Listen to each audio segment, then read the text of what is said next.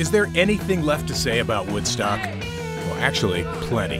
During those three days, something uncommon was injected into the culture. After the crowds left, the music business would never be the same. Political activism changed. That sense of what's possible extended to many moments afterwards. It began on August 15, 1969. Dig into how it happened and where it's still going.